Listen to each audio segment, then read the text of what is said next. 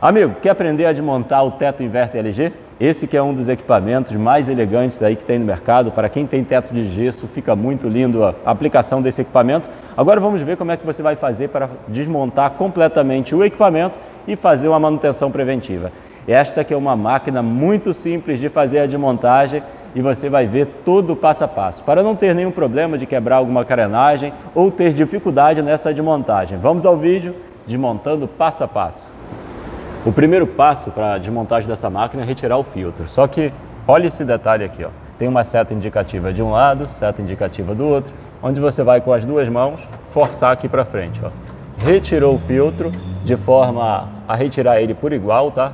Não procure tirar ele é, torto ou pode acabar prendendo. Se ele der uma travadinha, só você fazer isso, ó. Aperta aqui, não tente forçar, senão pode acabar estragando o filtro. Ó.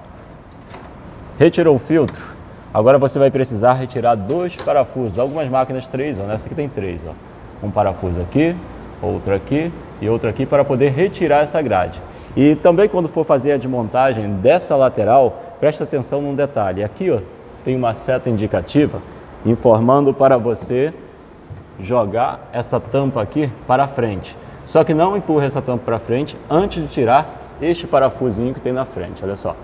Logo aqui ó, tem um parafusinho então retira esse parafuso, depois dele, aí sim que você força esta tampa aqui para frente. Veja a seta. E agora vamos fazer a desmontagem dessa máquina na bancada, porque essa parte você até consegue fazer a desmontagem no próprio local, mas o restante é indicado você colocar numa bancada para fazer a manutenção preventiva e não ter risco nenhum de quebrar alguma carenagem, alguma coisa. Vamos para a bancada.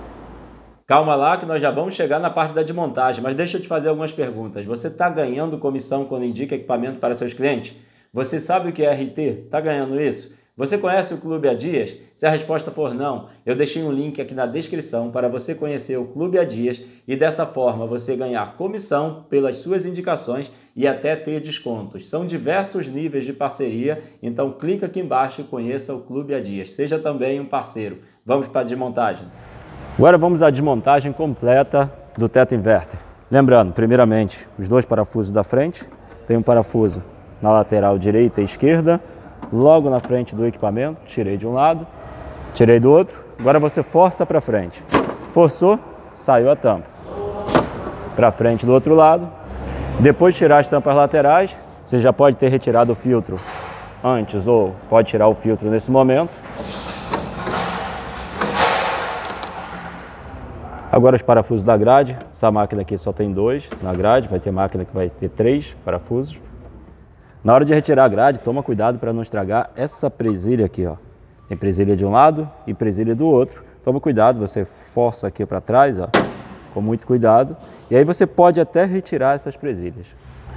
Aqui na presilha, basta você pressionar, ó, apertou e tirou. Já estava praticamente solta nessa aqui. Vamos à outra aqui, ó. Olha só, apertou e puxou. Retirou a presilha, aí você já tira a tampa, já tira a grade. Dá uma olhada.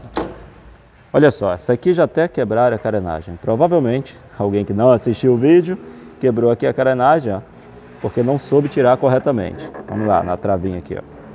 Pressionou a trava e ela solta.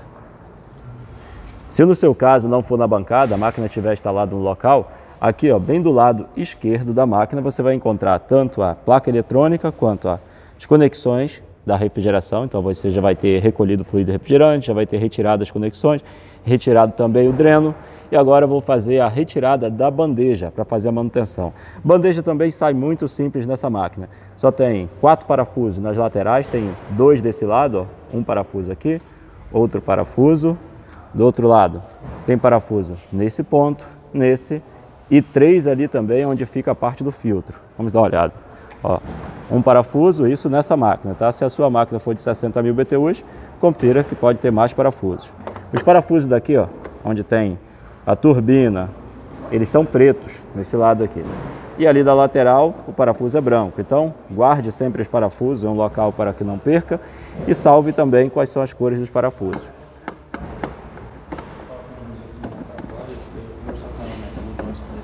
Para tirar o conector é apenas um parafuso na placa. Na verdade não é um, são dois parafusos. Tem outro aqui embaixo, olha. Que para você, né, se tiver instalado no local, vai ser o parafuso da parte superior, né? Chegou na placa, retira o conector do swing, verifique como é que é a forma de fixação, a forma da, da presilha, retira do swing e já que chegou na placa, não esqueça também, já tira o conector do motor ventilador. A gente vai precisar de montar mesmo, aqui está o conector do ventilador, já vou retirar ele logo. Você já pode retirar também os conectores dos sensores e também o do motor do swing, caso você vá retirar a placa eletrônica placa completamente solta, você pode retirar ela para poder lavar toda a máquina, sem o risco de ocasionar problema na parte eletrônica. Separe ela muito bem, faça a limpeza apenas com um pincelzinho e procure também retirar a placa antes de limpar a turbina.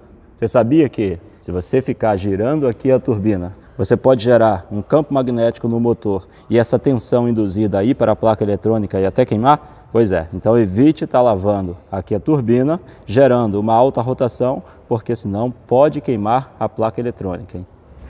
Display placa retirado, agora eu posso sacar aqui ó, toda essa parte da bandeja, retirar a bandeja e separar ela. Quando for retirar, não esqueça que tem uma travazinha bem aqui na frente que pega bem nas aletas. Vamos dar uma olhada para você retirar essa trava. Olha só, a tampa tem uma trava aqui ó, que pega bem as aletas. Então retire essa travazinha aqui ó, antes de puxar a tampa. Agora sim, agora eu consigo levantar a tampa. É só... Opa, ainda está preso, hein?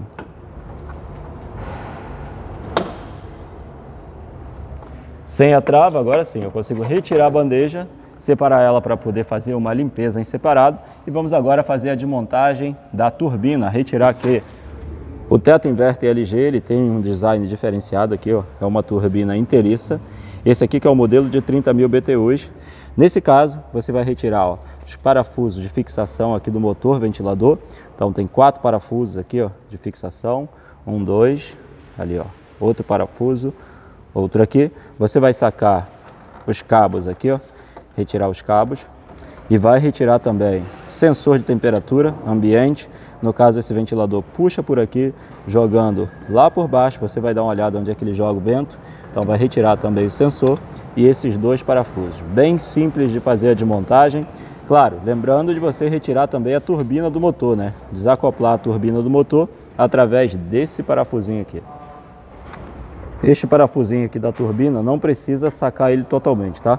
É só afastar o parafuso um pouquinho, só afrouxar um pouco, e aí você já consegue retirar a turbina do motor, ó. Não precisa sacar totalmente.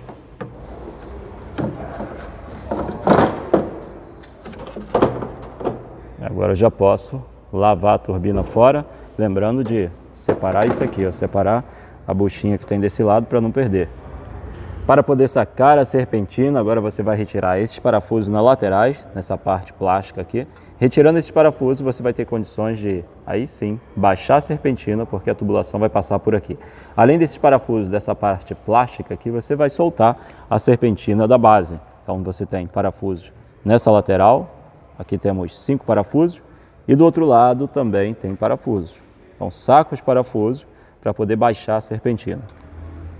Parafusos retirados, aí você saca essa presilha metálica que tem de um lado, do outro, e antes de soltar a serpentina, retire antes os sensores que tem desse lado de cá. São dois sensores de temperatura, um na linha de sucção e um na linha de expansão. Aí sim você vai conseguir retirar a serpentina para lavar. E o porquê retirar a serpentina? É que no piso teto ou teto inverte da LG também, a sujeira não fica nessa parte. Como o motor ventilador joga o vento por aqui, a sujeira fica no lado oposto ao que a gente consegue visualizar quando a gente desmonta o equipamento. Então, por esse motivo é que é indicado, na hora de fazer a limpeza, retirar a serpentina para conseguir ter acesso onde está a sujeira e lavar a máquina. Depois disso, você vai afastar aqui para trás, ó, tomando cuidado aqui com a tubulação desse lado, para poder não ficar presa. Pronto, soltou a tubulação e com muito cuidado para não amassar a serpentina. Retirou, a sujeira vai estar desse lado e aí você leva para poder fazer a higienização, a limpeza e depois voltar a montar a máquina toda. Bem, vou deixar ela por aqui. Espero que você tenha gostado desse vídeo de como fazer a desmontagem do teto inverter LG. Não esquece de deixar o like e fazer um comentário. Agora que você já viu todos os detalhes da desmontagem, não esquece, sempre acompanhe aqui na descrição nossos vídeos, tem ótimas indicações, tanto de parcerias como também do link dos nossos treinamentos. E deixe aqui no comentário quais foram as suas observações, o que, é que você gostou e, é claro, deixa o like e compartilha com os amigos. Um abraço e até o próximo vídeo.